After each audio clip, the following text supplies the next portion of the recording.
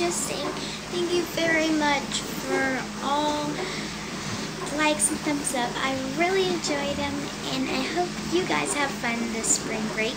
And make sure you comment down below and give me a big fat thumbs up and a whole bunch of likes. Make sure you subscribe. Thank you guys, and I think someone wants to see you before you go. Hi, Eva. She wants to give you guys kisses. Some kisses, Eva.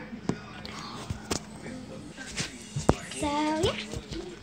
I'm still new at this whole YouTube thing. So, thank you for sharing it with me and helping me out with all the other YouTubers.